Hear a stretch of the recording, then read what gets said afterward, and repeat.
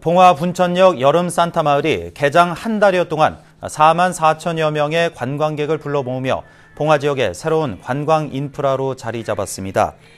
지난달 18일 개장해 34일 동안 운영된 분천역 여름 산타 마을에는 전국에서 4만 4천여 명이 방문해 산타를 테마로 만든 다양한 시설과 프로그램을 이용했습니다. 분천역 산타 마을은 지난 겨울에도 운영돼 50일간 10만여 명이 방문했습니다.